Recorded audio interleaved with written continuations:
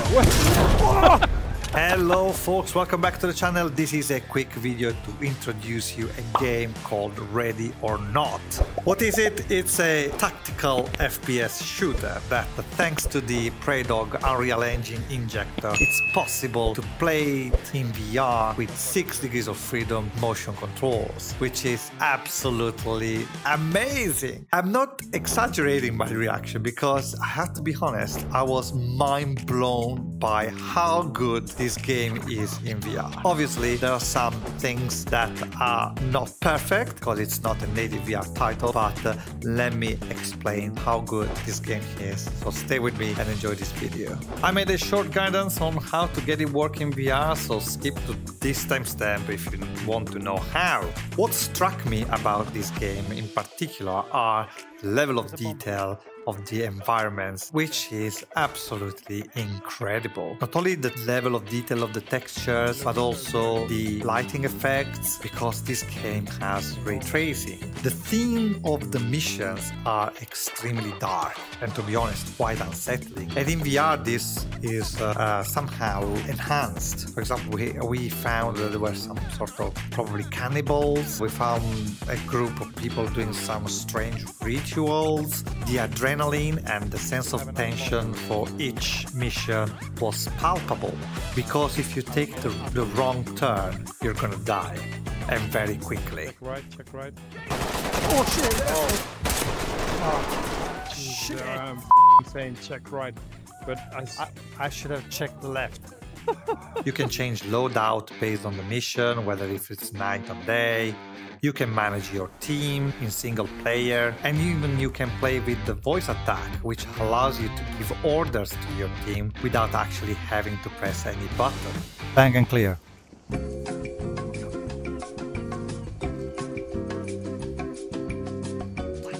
Gameplay itself is pretty good.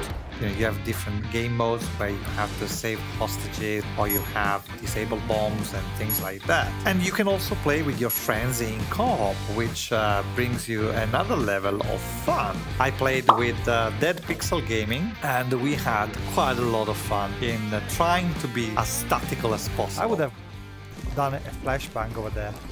But anyway, you would have wasted the flash. I told you, man. I told you. I told you. I f***ing told you do the bang. Please don't die. What? As you do always, okay? Oh, Okay. Come on, mate. I'm, I'm gonna bridge All right, you. okay, fine. Okay. Okay, fine. Things went a little bit uh, down the drain, but that's not important. Important is enjoying this game with your friends. What people may not like is, for example, the lack of uh, hands or body parts. You, you can't see that because uh, the Unreal Engine injector profile hides it from the view. But to be honest, for me, this was not a showstopper. I completely forgot to have a body because I was concentrated on uh, executing the mission. Obviously, you don't have all the gesture and VR interaction you would have in a native VR title, but this does not detract from the experience. The only thing that is missing, obviously, compared to a native VR first person shooter, is recoil, but to be honest, who cares? I don't care. You know, that, that would be perfect. I hope that someday we're gonna have also recoil when using the UVR injector, but we don't know whether this is gonna happen. So if you follow my ultimate guide to make it work with very few clicks, I promise it's gonna be almost plug and play. And if you do have problems, just leave a comment down below so I can read it and I can help you the best as I can. The game is quite scalable. Thanks to the DLSS, it's possible to play this game at a smooth 90 frames per second. I played this game at the maximum detail, a few drops here and there. Obviously, this is with the RTX 4090. However, I know for sure that this game can be played very smoothly even with the 2070 and above. So it's possible to play this game with a medium-end system. So don't be discouraged. My recommendation would be to buy this game. Whether you buy it on sale or whether you want to play it immediately, that's up to you. But I think it's really worth your time and you should play it. Because if you don't, you're missing out, believe me. In conclusion, buy this game. It's worth its price, and I think you'll have a lot of fun, even though it's not a native VR title. And it, in VR, it works extremely well extremely well. I hope you enjoyed this video and uh, if you liked it, please don't forget to hit the like button and subscribe to the channel for more VR content. As always, thank you very much for watching and I'll see you next time. VR DaD signing out. And now the tutorial. So the first thing you have to do is to go to the Discord or the flat screen to VR modding community. In the section UE games over here, you're gonna look for ready or not. And then you go up and you find the pinned messages. Okay, you click on it and you will find a link to the Nexus mod page where you will find basically all the files that you need to download. So you click on that, okay, and you find a lot of instructions that are pretty much detailed. So if you haven't already, you have to download the UEVR injector, which you can find here. Okay, you scroll down and you will find the file uevr.zip. You download that in your download folder, you put it everywhere, but the only thing you have to make sure is to add an exclusion to your antivirus because it's gonna flag it up, okay?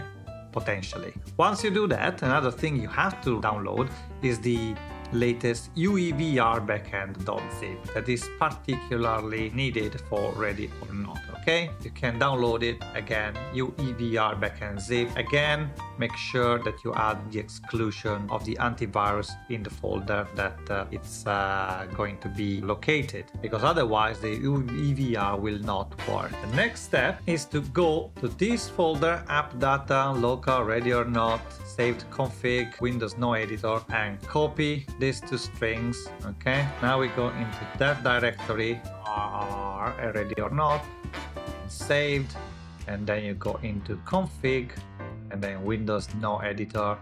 Okay, and you find the file engine.ini.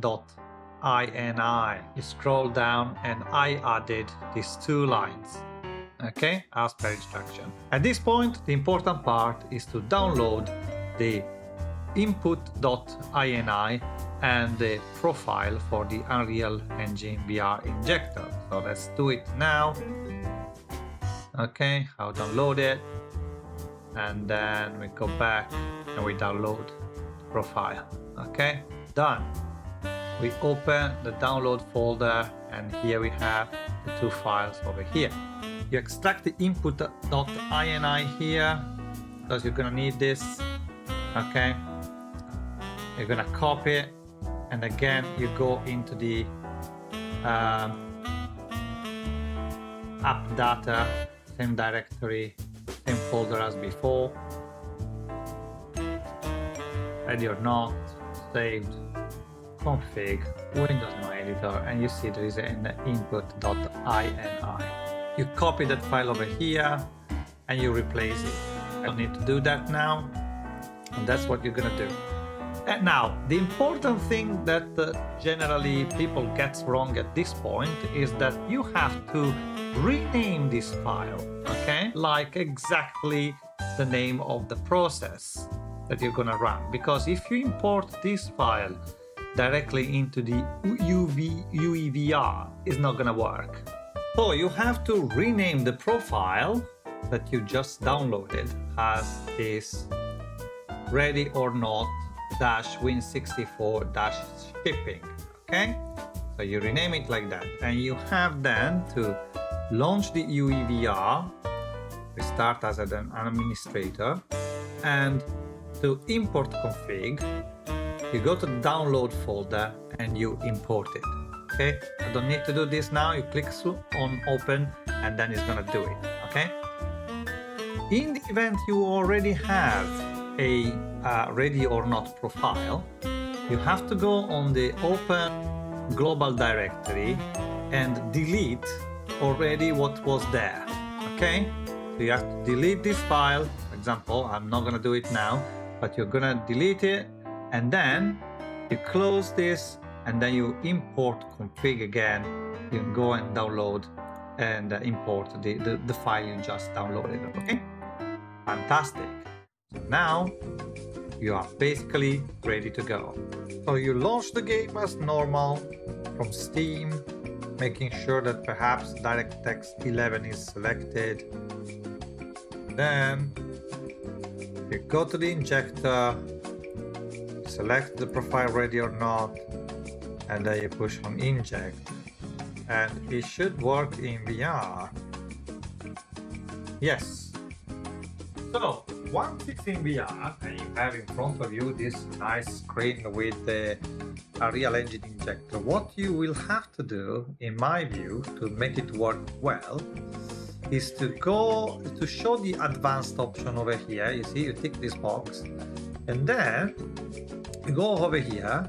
You go on the input side, and you see I have selected the uh, from this menu over here D-pad shifting method, I've selected the gesture head plus left joystick. Uh, this is gonna help you selecting several things like lasers, uh, laser pointers, or uh, the uh, automatic fire or semi-automatic fire of your weapon, etc. So you have to experiment a little bit.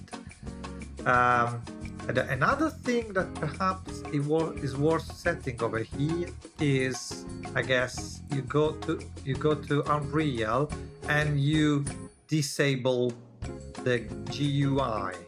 Okay, so I disabled it, so you you don't have that annoying uh, uh, guy that you would have uh, into the flat game. Yeah, obviously, if you have the hardware accelerated GPU scheduling and is giving you problem, you have to disable it from the settings from Windows.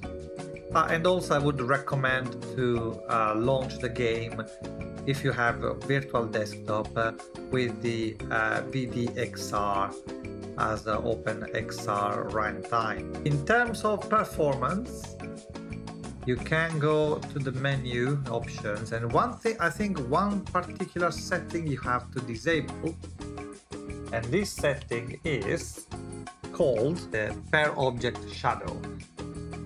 This created me a lot of performance issues and uh, I took a lot of time to figure it out.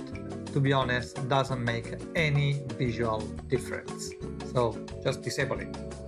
If you have problems with the uh, alignment of the weapons uh, and somehow the importing the profile doesn't work well for you, I would recommend you to follow the guidance from Dead Pixel Gaming, which I linked into the description. But if you have any problems, please do leave a comment down below and I'll do my best to help you out. Thank you very much for watching this guidance, like and subscribe and I'll see you next time.